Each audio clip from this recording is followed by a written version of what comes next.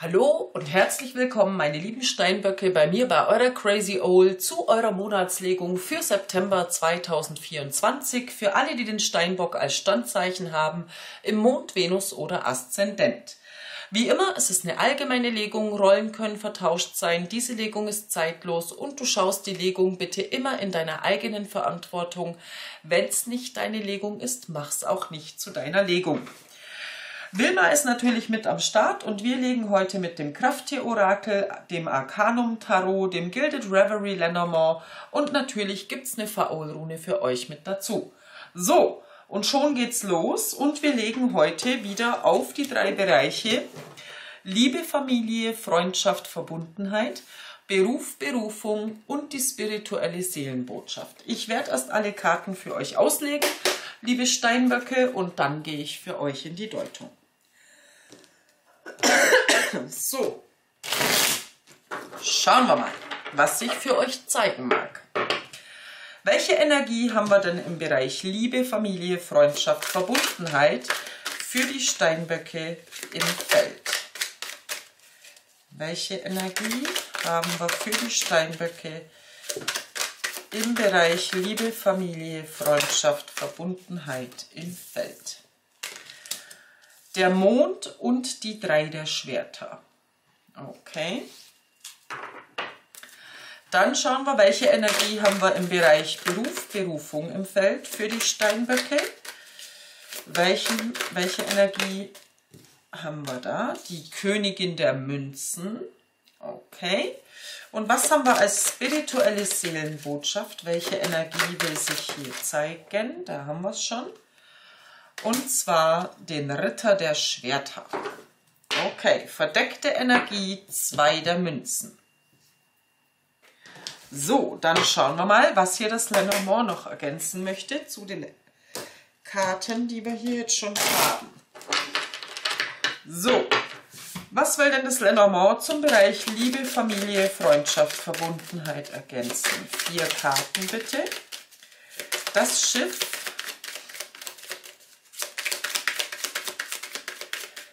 Liebe, Familie, Freundschaft, Verbundenheit, das Schiff und der Mond. Okay, was haben wir noch? Der Klee. Und der Herr. Okay, schauen wir mal, was wir im Bereich Beruf, Berufung für die Steinböcke für eine Energie haben. Beruf, Berufung. Der Brief die Vögel.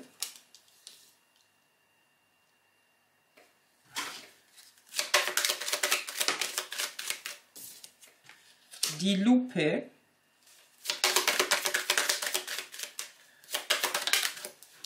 Und das Kind.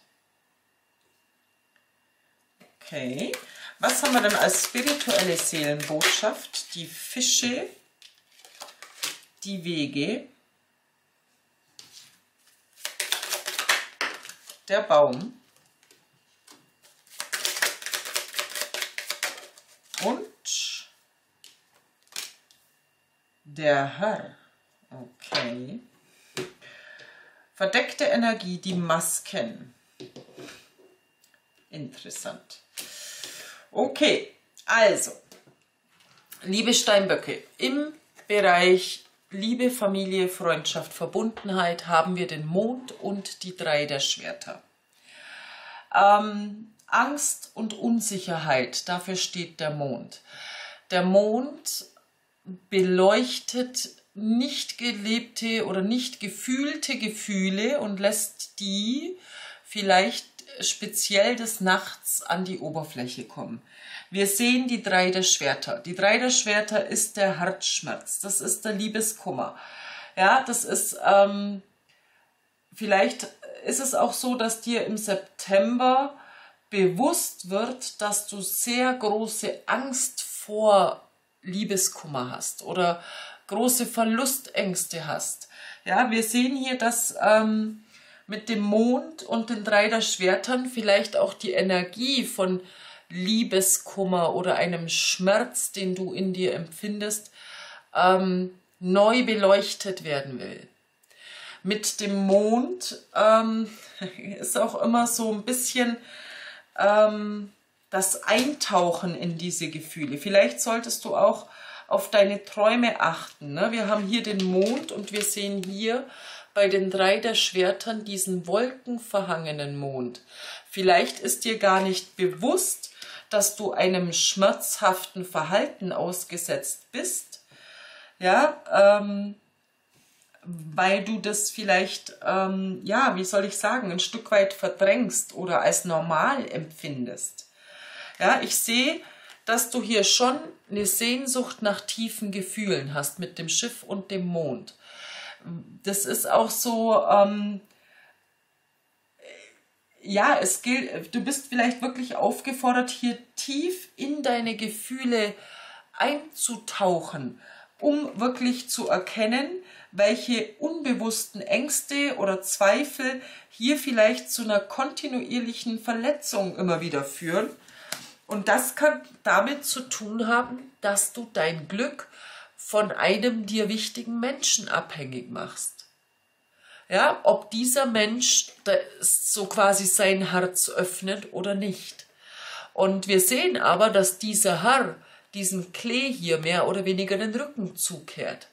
Also ähm, fühle hier tief in dich hinein. Ich habe so ein bisschen das Gefühl, lieber Steinbock, dass vielleicht für dich die Frage ganz wichtig sein könnte, ähm, ob du hier dich von jemandem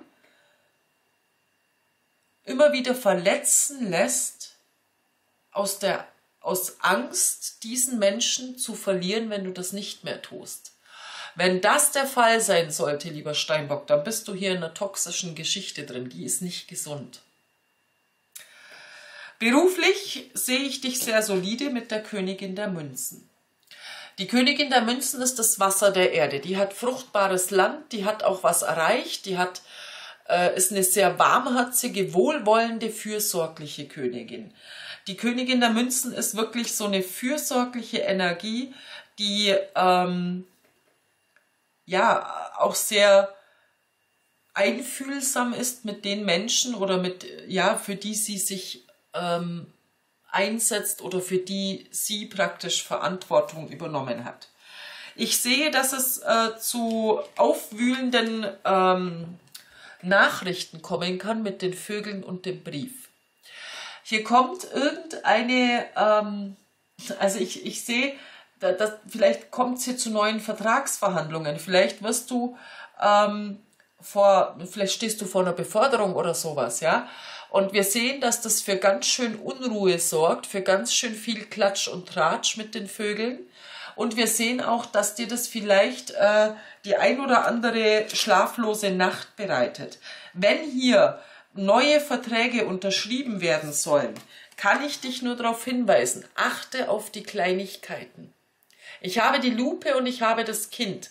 Hier ist ein Neuanfang möglich, ja, aber ich habe mit beidem den Hinweis auf etwas Kleines. Hier geht es um vertragliche Details. Du solltest die Dinge, die Verträge, diesen Neuanfang, du solltest hier das wirklich auf Herz und Nieren prüfen die Verträge genau durchlesen. Lies das Kleingedruckte. Ja, das ist ganz, ganz wichtig. Hier liegt so ein Stück weit eine Warnung für dich drin, lieber Steinbock, dass du wirklich hier, du bist beruflich sehr gut aufgestellt, du bist, hast genügend Ressourcen, ähm, du hast auch, äh, kannst auch die Ernte deiner Arbeit ein Stück weit einfahren, aber achte darauf, wenn dir hier eine vertragliche Zusage oder was oder ein neuer Vertrag vorgelegt wird, nimm dir Bedenkzeit raus, achte auf die Feinheiten, ähm, sei hier wirklich genau und äh, sprich auch offen und ehrlich über das. Ne? Wenn dir hier irgendeine Kleinigkeit auffällt, wo so ein versteckter Widerhaken drin sein sollte, dann sprich darüber. So, König der Schwerter, äh, Ritter der Schwerter haben wir als Energie der spirituellen Seelenbotschaft. Der Ritter der Schwerter. Hm. Eiskalt und berechnend. Das wäre eine Energie. Der Ritter der Schwerter bringt meist so eine unterkühlte Energie. Sehr analytisch, sehr nüchtern. Nicht emotional, sondern der ist wirklich manchmal so eiskalt und berechnend. Ähm, mit dem Ritter der Schwerter solltest du aber auch sehr viel beobachten. Der Ritter der Schwerter ist sehr schnell, sehr analytisch, sehr geistig wendig.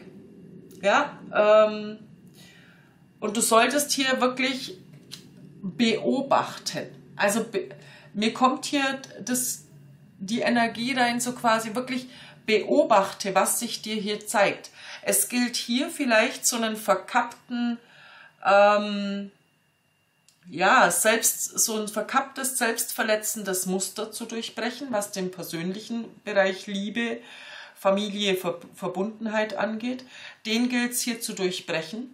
Im Beruflichen bist du gut aufgestellt, ja, aber hier gilt es darum, wirklich ähm, die Dinge auf Herz und Nieren zu prüfen, auch Dinge schriftlich zu fixieren, nicht nur mündlich zu vereinbaren, sondern die wirklich schriftlich zu fixieren und bei diesen vertraglichen Dingen aber auch wirklich auf die Feinheiten zu achten.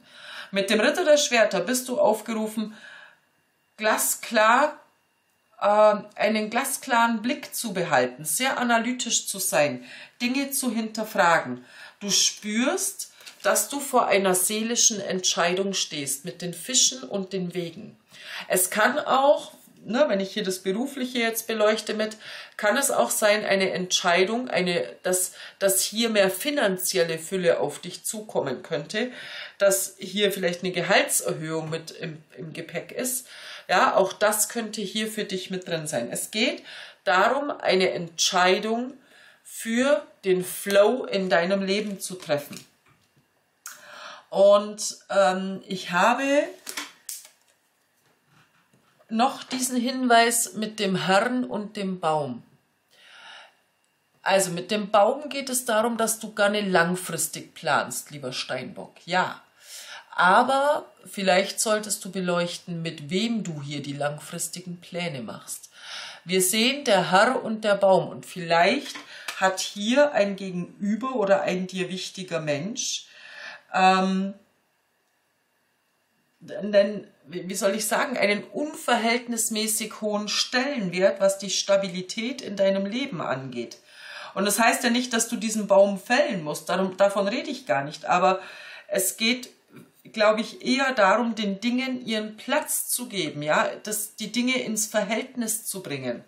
Und wir sehen, dass du hier mit dem mit den zwei der Münzen als verdeckte Energie zum einen sehr viele Aufgaben zu bewältigen hast. Ja, es geht hier, dass du hier mit vielen ähm, Aufgaben jonglieren musst. Zum anderen bist du aber auch aufgefordert, hier in die Leichtigkeit zu gehen. Denn hier gilt es, die Masken fallen zu lassen. Spiele mit den Energien und geh spielerisch heran, damit du hinter diese Masken blicken kannst. Hier gibt es etwas, was ähm, was maskiert ist. Und das fühlt sich jetzt für mich im Moment so an, also A, im beruflichen Bereich eben die Dinge schriftlich zu fixieren, auf das Kleingedruckte zu achten. Im persönlichen Bereich ähm, habe ich das Gefühl, dass so ein Vermeidungsverhalten vielleicht am Start sein könnte. Ne? Man versucht hier Schmerz zu vermeiden und ähm, aus diesem Grund, ja, ist man vielleicht in Verbindungen, die einen aber doch kontinuierlich verletzen, weil man nicht äh, wirklich so sich zeigen kann, wie man ist. Ja? Weil ich habe hier die Masken liegen. Es gilt hier etwas zu demaskieren, lieber Steinbock. So, schauen wir mal, welches Krafttier begleitet die Steinböcke im September. Welches Krafttier begleitet die Steinbuchs? Das sind zu viele, das ist ein halber Zoo. So, da mischen wir nochmal. So. Welches Krafttier begleitet die... St Jetzt hat sich zwei umgedreht. Okay. Also, wir haben den Phönix, Auferstehung, Wandlung. Am Ende des Tunnels ist Licht, ein alter Zyklus verendet, vollendet sich. Vertraue auf die Kraft der Erneuerung. Und wir haben den Jaguar, Dimensionssprung. Unabhängigkeit von der äußeren Welt ist wahre Freiheit. Okay, also hier will etwas gewandelt werden und ich glaube, ähm, dieser Wandel ist hier die Masken fallen zu lassen. Hinter die Masken zu blicken, genau zu beobachten, nutze hier die Kraft des Ritters der Schwerter, ja, der dir hilft mit seiner analytischen, schnellen Auffassungsgabe, auch Dinge, die sich schnell bewegen und verändern, hier glasklar zu beobachten. Welche Rune begleitet die Steinböcke? Da habe ich sie schon. Ha. Die Ewas. Die Ewas ist das Pferd. Hier geht es voran. Hier kommt Bewegung in eine Angelegenheit, die sich bisher vielleicht sehr langsam bewegt hat mit dem Schiff. Hier, ja, gerade im persönlichen Bereich. Also die Ewas hilft dir auch, anderen Menschen auf Augenhöhe aus deinem Herzen, aus dem Gefühl, ja, wir haben hier die gespiegelte Lagos-Rune, das Wasser, das Gefühl, äh, dass sich hier Gefühle auf Augenhöhe begegnen. Und es, die EBAS bringt dir auch, also zum einen den Fortschritt, die Bewegung und zum anderen auch die Begegnung. Du wirst vielleicht hier dir selbst begegnen, wenn die Masken fallen. Oder einem Gegenüber hinter die Maske blicken. Also Blick hinter die Masken, so würde ich eure äh, euren Monat beschreiben. Ähm, ja, das war eure Legung für den September. Ich freue mich auf eure Feedbacks und Kommentare. Sagt ganz, ganz lieben Dank, wenn ihr mir ein Like oder ein Abo dalasst oder dieses Video teilt. Habt eine zauberhafte Zeit, meine Lieben. Fühlt euch umärmelt und gedrückt. Bis zum nächsten Video. Ciao, ciao, eure Crazy Owl.